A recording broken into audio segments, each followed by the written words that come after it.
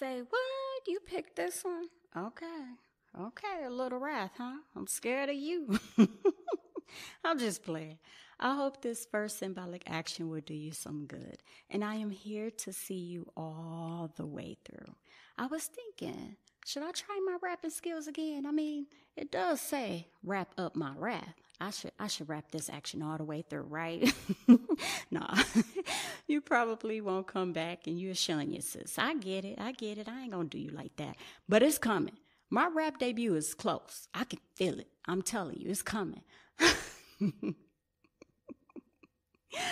oh, I am silly. I am going to have an album kicking nothing but mental health. I'm telling you.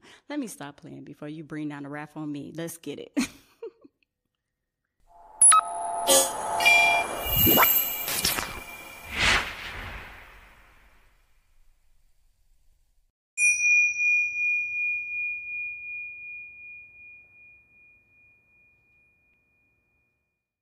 Okay, let's aim to control your wrath by controlling yourself in struggling situations.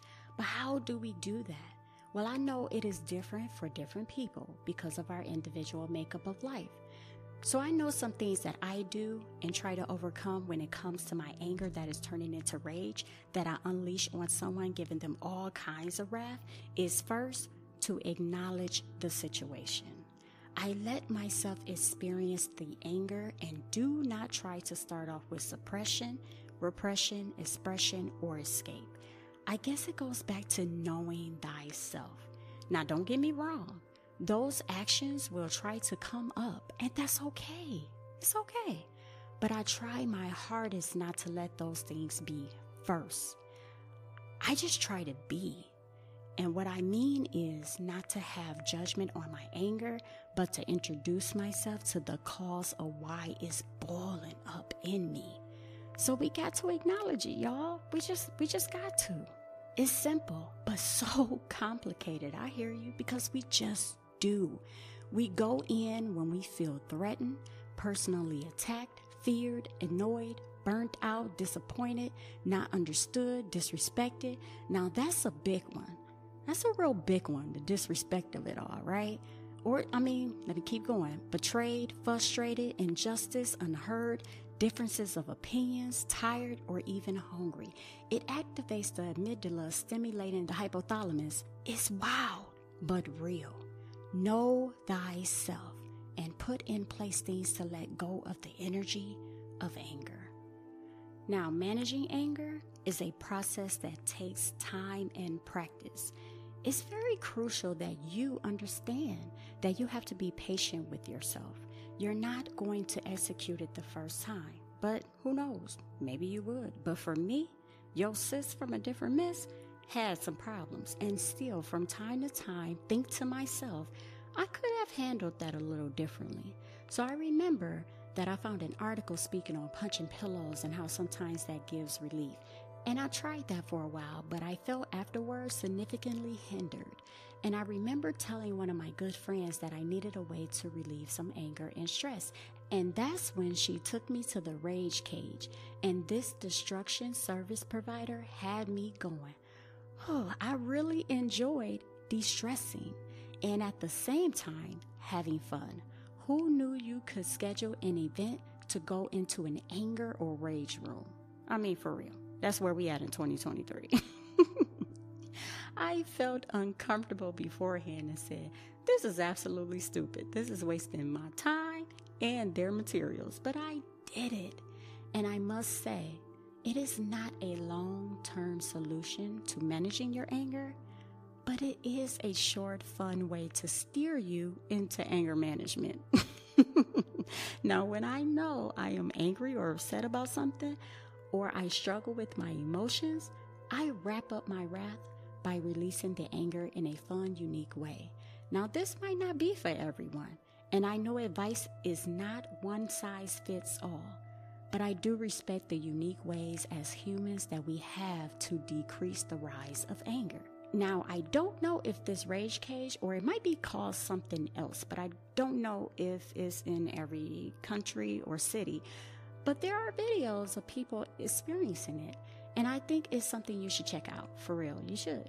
Now, the symbolic action is to try this, book an appointment, and see if it's a fit for you. And if one is not close to you, see if you can create your own kind of rage space, you know? you know? I mean, you know how they used to say people used to hide like uh, what they call their mad money around. So when they get mad, they can, you know, go out and do something for themselves. I say create a rage space. You know what I'm saying?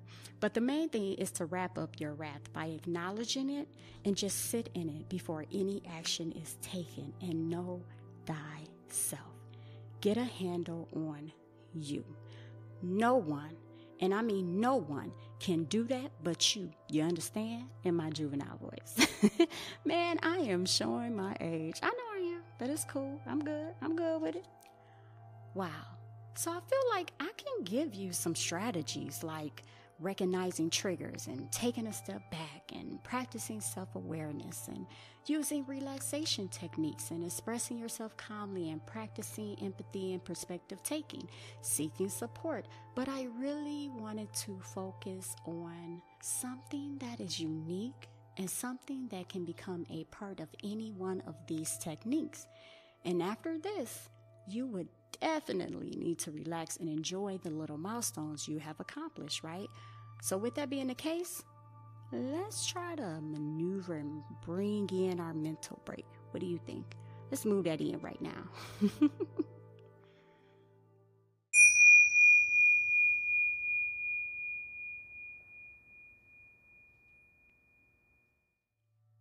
So, I would like to take this opportunity to have us think of a time that you unleashed your wrath on someone. How did you handle it? Did you take a step back and think about what your body was going through? Because you know wrath is extreme anger. So, did you feel extreme? Please put your opinions and thoughts and let me know your answers to these questions in the comments below. I truly, truly, truly, truly, truly appreciate it. They can generate stimulating dialogue. Let's take our breathing break. Breathe in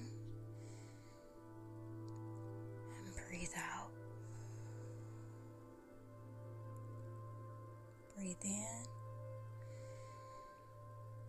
and breathe out. Now, let's recap. Your symbolic action for today is to make sure you acknowledge your anger and the situation and sit with it before any action occurs. Basically, let yourself experience the anger and then surrender to it by what? Do you know it? Letting go.